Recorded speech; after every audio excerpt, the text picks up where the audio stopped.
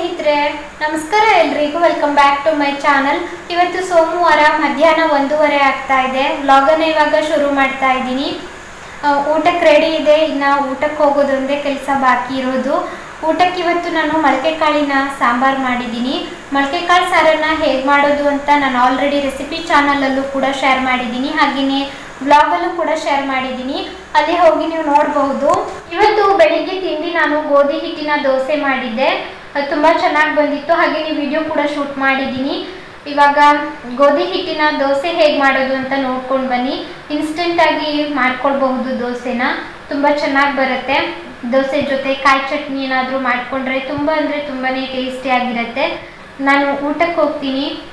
ಚಾನಲನ್ನು ಹೊಸದಾಗಿ ನೋಡ್ತಾ ಇದ್ರೆ ದಯವಿಟ್ಟು ಸಬ್ಸ್ಕ್ರೈಬ್ ಮಾಡ್ಕೊಳ್ಳಿ. ಸಬ್ಸ್ಕ್ರೈಬ್ ಮಾಡಿದ ತಕ್ಷಣ ಪಕ್ಕದಲ್ಲೇ ಕಾಣುವಂತಹ ಬೆಲ್ ಐಕಾನನ್ನು ಕ್ಲಿಕ್ ಮಾಡಿ. ಆಲ್ ಅಂತ ಸೆಲೆಕ್ಟ್ ಮಾಡಿ ನೋಟಿಫಿಕೇಶನ್ಗೋಸ್ಕರ ಹಾಗೆಯೇ ವಿಡಿಯೋ ಇಷ್ಟ ಆಗಿದ್ದಲ್ಲಿ ಲೈಕ್ ಶೇರ್ ಕಾಮೆಂಟ್ ಮಾಡೋದನ್ನು ಮರಿಬೇಡಿ. ಗೋಧಿ ಹಿಟ್ಟಿನ ದೋಸೆನ ಹೇಗೆ ಮಾಡೋದು ಅಂತ ನೋಡ್ಕೊಂಡು ಬನ್ನಿ. ಮೊದಲಿಗೆ ನಾನಿಲ್ಲಿ ಒಂದು ಮಿಕ್ಸರ್ ಜಾರನ್ನು ತೆಗೆದುಕೊಂಡಿದ್ದೆ. ಅದಕ್ಕೆ ಎರಡು ಕಪ್ನಷ್ಟು ಆಶೀರ್ವಾದ ಆಟ ಗೋಧಿ ಹಿಟ್ಟನ್ನು ಹಾಕಿದ್ದೆ. ಹಾಗೆಯೇ ಕಾಲು ಕಪ್ನಷ್ಟು ರವೆ.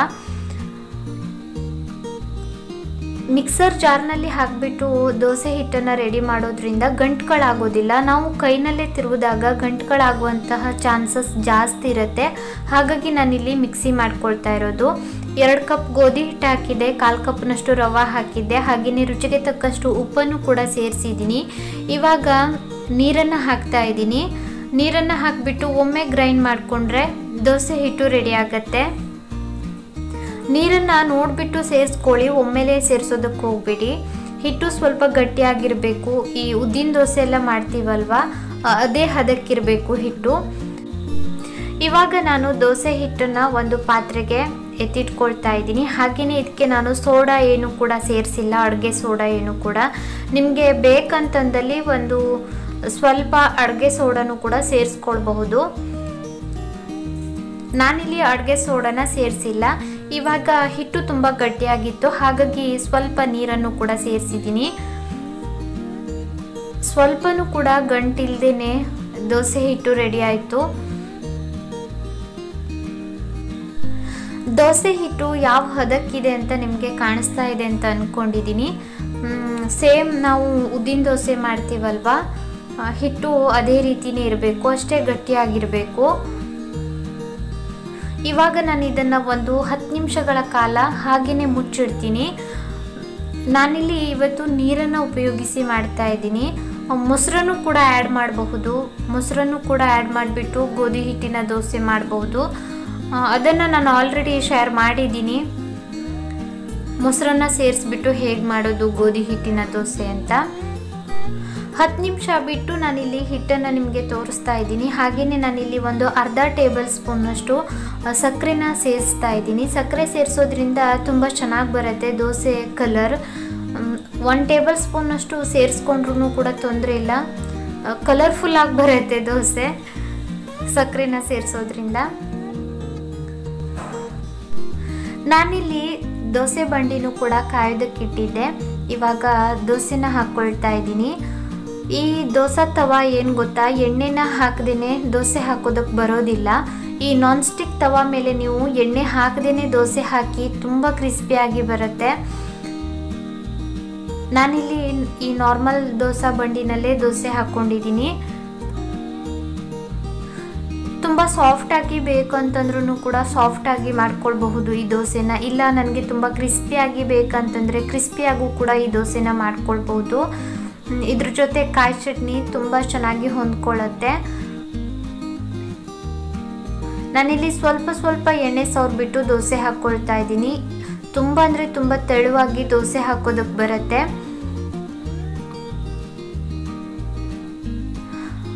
ಉಲ್ಟಾ ಹಾಕುವಂತಹ ಅವಶ್ಯಕತೆ ಇಲ್ಲ. ಆದ್ರೂ ಕೂಡ ನಾನು ಉಲ್ಟಾ ಹಾಕಿಬಿಟ್ಟು ಇನ್ನೊಮ್ಮೆ ಬೇಯಿಸ್ಕೊಳ್ತಾ ಇದ್ದೀನಿ. ನಮ್ಮ ಕಡೆ ಸಾಮಾನ್ಯವಾಗಿ ಇದು ಒಂದು ರೀತಿ ಅಭ್ಯಾಸನೇ. ಎಲ್ಲರೂ ಕೂಡ ಸಾಮಾನ್ಯವಾಗಿ ದೋಸೆನ ಉಲ್ಟಾ ಹಾಕಿಬಿಟ್ಟು ಇನ್ನೊಮ್ಮೆ ಬೇಯಿಸ್ಕೊಳ್ತಾರೆ. ಇನ್ನೊಮ್ಮೆ ಹೇಳ್ತಾ ಇದ್ದೀನಿ ನಾನ್ ಸ್ಟಿಕ್ ತವ ಮೇಲೆ ಈ ಗೋಧಿ ಹಿಟ್ಟಿನ ದೋಸೆನ ಹಾಕ್ಕೊಳ್ಳಿ ತುಂಬ ಚೆನ್ನಾಗಿ ಬರುತ್ತೆ. ಇದರಲ್ಲೂ ಕೂಡ ಕ್ರಿಸ್ಪಿಯಾಗಿ ಬರುತ್ತೆ, ಆದರೆ ತುಂಬ ಹೊತ್ತು ಕಾಯಬೇಕಾಗತ್ತೆ. ಗೀತತ್ತೆ ಮನೆ ಮೇಲ್ಗಡೆ ಬೆಕ್ಕು ಮರಿ ಹಾಕಿದೆ. ಬೆಕ್ಕನ ಮರಿ ನೋಡಿ ಆಟ ಆಡ್ತಾ ಇತ್ತು. ನಮ್ಮ ನಾಲ್ಕು ಮನೆಯಲ್ಲೂ ಕೂಡ ಯಾರೂ ಬೆಕ್ಕನ್ನು ಸಾಕಿಲ್ಲ. ಬೇರೆಯವ್ರ ಮನೆ ಬೆಕ್ಕೆಲ್ಲನೂ ಕೂಡ ಬಂದು ಮರಿ ಹಾಕತ್ತೆ. ಒಂದೇ ಬೇಜಾರು ನಮಗೆ. ನಂತರ ಮನೆ ಒಳಗಡೆ ಎಲ್ಲ ಬರುತ್ತಲ್ವಾ ಅಡುಗೆ ಮಾಡಿಟ್ಟಂತಹ ಅಡುಗೆ ಪಾತ್ರೆನೆಲ್ಲ ದೂಡೋದಕ್ಕೆ ಶುರು ಮಾಡ್ಕೊಳ್ಳುತ್ತೆ ಹಾಗಾಗಿ ಸ್ವಲ್ಪ ಬೇಜಾರಷ್ಟೇ ನಾನಿಲ್ಲಿ ಒಣಗಿದಂತಹ ಬಟ್ಟೆನೆಲ್ಲನೂ ಕೂಡ ತೆಗಿತಾ ಇದ್ದೀನಿ. ಇವತ್ತು ತುಂಬ ಬಟ್ಟೆಗಳಿದ್ವು, ತೊಳೆಯೋದಕ್ಕೆ ಬೆಡ್ಶೀಟ್ಗಳೆಲ್ಲ ಇದ್ವು. ನಾನು ಬಟ್ಟೆನ ತೊಳೆದು ಕೆಳಗಡೆನೆ ಒಣ ಹಾಕಿ ಬರ್ತೀನಿ. ಮಳೆ ಇದ್ದಾಗ ಮಾತ್ರ ಅಂಗಳದಲ್ಲಿ ಬಳ್ಳಿ ಕಟ್ಟಿದ್ವಿ, ಅಲ್ಲಿ ಹಾಕ್ತೀವಿ. ಇವತ್ತು ಮಳೆ ಇರಲಿಲ್ಲ, ಬೆಳಿಗ್ಗಿನ ವಾತಾವರಣ ನೋಡಿಬಿಟ್ಟು ನಾನು ಬೆಡ್ಶೀಟ್ಗಳನ್ನೆಲ್ಲ ತೊಳೆದಿದ್ದೆ. ತುಂಬ ಚೆನ್ನಾಗಿ ಒಣಗಿತು.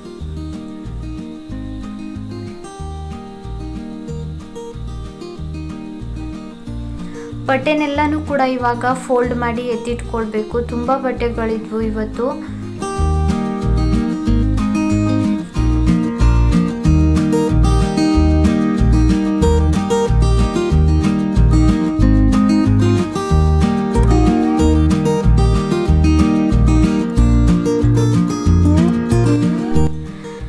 ಯಾಕೋ ಇವತ್ತು ಸ್ವೀಟ್ ತಿನ್ಬೇಕಂತ ಅನಿಸ್ತಾ ಇತ್ತು ನನಗೆ. ಶೀರಾ ತಿನ್ನಬೇಕು ಅಂತ ಅನಿಸ್ತಾ ಇತ್ತು.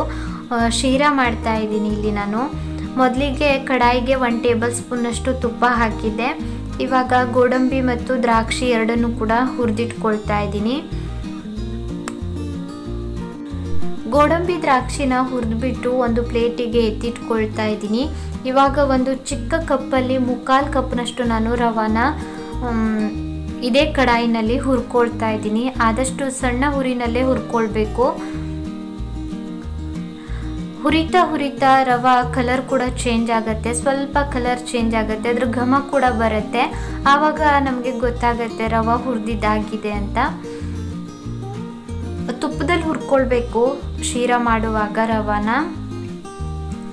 ನಾವು ಸಣ್ಣ ರವ ಅಂತ ಕರಿತೀವಿ. ಈ ಉಪ್ಪಿಟ್ಟೆಲ್ಲ ಮಾಡ್ತೀವಲ್ವಾ? ಆ ರವಾದಲ್ಲಿ ನಾನು ಮಾಡಿದ್ದು.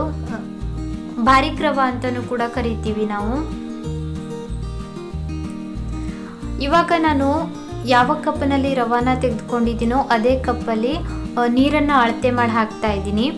ಒಂದು ಕಪ್ ರವಾಗೆ ಮೂರು ಕಪ್ನಷ್ಟು ನೀರು ಅಂತ. ನಾನಿಲ್ಲಿ ಮುಕ್ಕಾಲು ಕಪ್ನಷ್ಟು ರವೆ ಹಾಕಿದ್ದೆ. ಹಾಗಾಗಿ ಎರಡು ಮುಕ್ಕಾಲು ಕಪ್ನಷ್ಟು ನೀರನ್ನು ಸೇರಿಸಿದ್ದೀನಿ. ಇಲ್ಲಿ ನಾನು ಕೇಸರಿ ದಳಗಳನ್ನು ಸ್ವಲ್ಪ ನೀರಿನಲ್ಲಿ ನೆನೆಯೋದಕ್ಕೆ ಬಿಟ್ಟಿದ್ದೆ. ಇವಾಗ ಅದನ್ನು ಕೂಡ ಸೇರಿಸಿದ್ದೀನಿ. ಕೇಸರಿ ದಳಗಳಿಲ್ಲ ಅಂತಂದಲ್ಲಿ ಫುಡ್ ಕಲರನ್ನು ಕೂಡ ನೀವು ಸೇರಿಸ್ಕೊಳ್ಬಹುದು. ಇವಾಗ ನಾನು ಇದನ್ನು ಹೀಗೇನೆ ಕುದಿಯೋದಕ್ಕೆ ಬಿಡ್ತಾ ಇದ್ದೀನಿ. ಚೆನ್ನಾಗಿ ಕುದ್ದಿದ ನಂತರ ನಾನಿಲ್ಲಿ ಹುರಿದಿಟ್ಟಂತಹ ರವಾನ ಸೇರಿಸ್ತಾ ಇದ್ದೀನಿ. ನಾನಿಲ್ಲಿ ಸ್ವಲ್ಪ ಕ್ವಾಂಟಿಟಿನಲ್ಲಿ ಮಾಡ್ತಾ ಇದ್ದೀನಿ. ನಾವಿರೋದಿಬ್ರೇನೆ ಅಂತ. ಇವಾಗ ಗಂಟುಗಳಾಗಬಾರ್ದು ಚೆನ್ನಾಗಿ ತಿರುಗಬೇಕು. ತಿರುತ್ತಾ ಇದ್ರೆ ಗಂಟುಗಳಾಗೋದಿಲ್ಲ ರವ ಹಾಕಿಬಿಟ್ಟು ಹಾಗೆ ಬಿಟ್ಟರೆ ಮಾತ್ರ ಗಂಟ್ಗಳಾಗೋದು ಇವಾಗ ನಾನು ಸಣ್ಣ ಹುರಿನಲ್ಲಿ ಇದನ್ನು ಮುಚ್ಚಿಡ್ತಾ ಇದ್ದೀನಿ. ಯಾಕಪ್ಪ ಅಂತಂದರೆ ರವೆ ಅರಳ್ಕೊಳ್ಳಿ ಅನ್ನೋಗೋಸ್ಕರ ಅಷ್ಟೇ ರವೆ ಚೆನ್ನಾಗಿ ಅರಳ್ಕೊಂಡಿದೆ. ನೀರೆಲ್ಲನೂ ಕೂಡ ಆರಿದೆ ಅಲ್ವಾ? ಈ ಟೈಮ್ನಲ್ಲಿ ನಾವು ಸಕ್ಕರೆನ ಹಾಕ್ಕೊಳ್ಬೇಕಾಗತ್ತೆ. ನಾನು ಮುಕ್ಕಾಲು ಕಪ್ನಷ್ಟು ರವೆ ಹಾಕಿದ್ದೆ ಅಲ್ವಾ? ಇಲ್ಲಿ ನಾನು ಒಂದು ಕಪ್ನಷ್ಟು ಸಕ್ಕರೆನ ಉಪಯೋಗಿಸ್ತಾ ಇದ್ದೀನಿ. ಹಾಗೆಯೇ ಏಲಕ್ಕಿ ಪೌಡರನ್ನು ಕೂಡ ಹಾಕ್ತಾ ಇದ್ದೀನಿ. ಏಲಕ್ಕಿ ನಾನೇ ಕುಟ್ಟಿದ್ರಿಂದ ಅಷ್ಟೊಂದು ಪೌಡರ್ ಆಗಿಲ್ಲ ಅದು.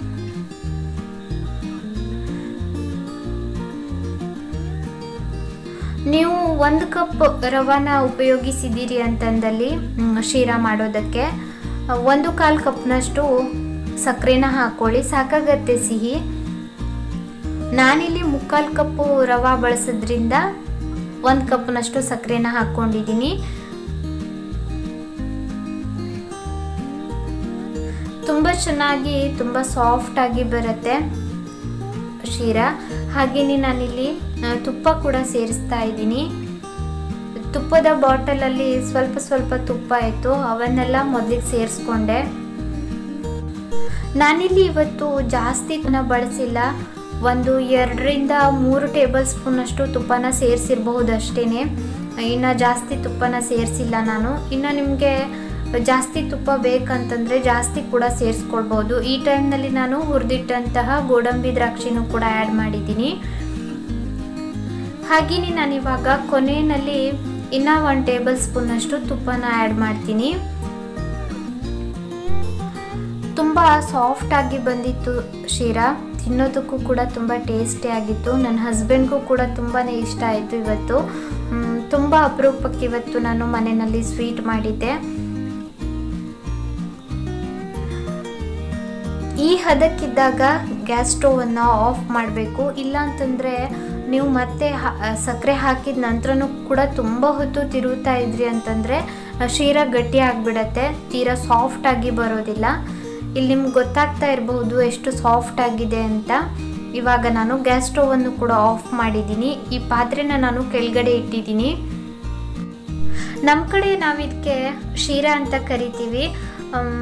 ಇನ್ನು ಕೆಲವರು ಇದಕ್ಕೆ ರವಾ ಕೇಸರಿ ಬಾತ್ ಅಂತಲೂ ಕೂಡ ಕರೀತಾರೆ ಸ್ನೇಹಿತರೆ. ಇವತ್ತು ಮಂಗಳವಾರ ಸಂಜೆ ಆರು ಗಂಟೆ ಆಗ್ತಾ ಇದೆ. ಇವತ್ತಿನ ಈ ವ್ಲಾಗನ್ನು ನಾನು ಇಲ್ಲಿಗೆ ಎಂಡ್ ಮಾಡೋಣ ಅಂತ ಬಂದು ಕೂತಿದ್ದೀನಿ. ವಿಶ್ ಮಾಡೋದಕ್ಕಿದೆ. ವಿಶ್ ಮಾಡಿಬಿಟ್ಟು ಇವತ್ತಿನ ವಿಡಿಯೋನ ನಾನು ಇಲ್ಲಿಗೆ ಎಂಡ್ ಮಾಡ್ತಾ ಇದ್ದೀನಿ. ಜೂನ್ ಹನ್ನೆರಡಕ್ಕೆ ಎಂಟನೇ ವರ್ಷದ ಬರ್ತ್ಡೇ ಅಶ್ವಿನಿ ಅವ್ರದ್ದು. ಅಶ್ವಿನಿ ಅವರಿಗೆ wish many more happy returns of the day June ಇಪ್ಪತ್ತಕ್ಕೆ ಆರನೇ ವರ್ಷದ ಬರ್ತ್ಡೇ ವರ್ಷ ಅವ್ರದ್ದು ವರ್ಷ ಅವರಿಗೆ ಹುಟ್ಟುಹಬ್ಬದ ಹಾರ್ದಿಕ ಶುಭಾಶಯಗಳು. ಜೂನ್ ಒಂಬತ್ತಕ್ಕೆ ಪವಿತ್ರ ನಾಯ್ಕ ಅವರ ಬರ್ತ್ಡೇ ಪವಿತ್ರ ನಾಯ್ಕ ಅವರಿಗೂ ಕೂಡ wish many more happy returns of the day Aryan Nayak birthday ಇದೆ ಅಂತ ಹೇಳಿದ್ರು. ಆರ್ಯನ್ಗೆ ಹುಟ್ಟುಹಬ್ಬದ ಹಾರ್ದಿಕ ಶುಭಾಶಯಗಳು. ಶೈಲಜಾ ಅವರ ಮಗಳ ಬರ್ತ್ಡೇ ಇದೆ ಜೂನ್ ಹದಿನೈದಕ್ಕೆ. ಚಂದನ ಅಂತ, ಚಂದನ ಅವರಿಗೆ ಹುಟ್ಟುಹಬ್ಬದ ಹಾರ್ದಿಕ ಶುಭಾಶಯಗಳು.